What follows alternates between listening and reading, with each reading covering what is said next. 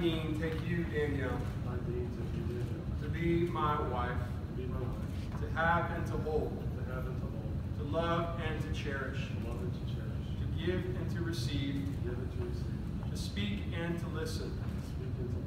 To repent and to forgive. To encourage and to respond.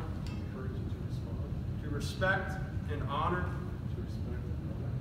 This I promise to you truly with all my heart, so that we may serve God and others as long as we both shall live. Now, Danielle, if you will repeat after me.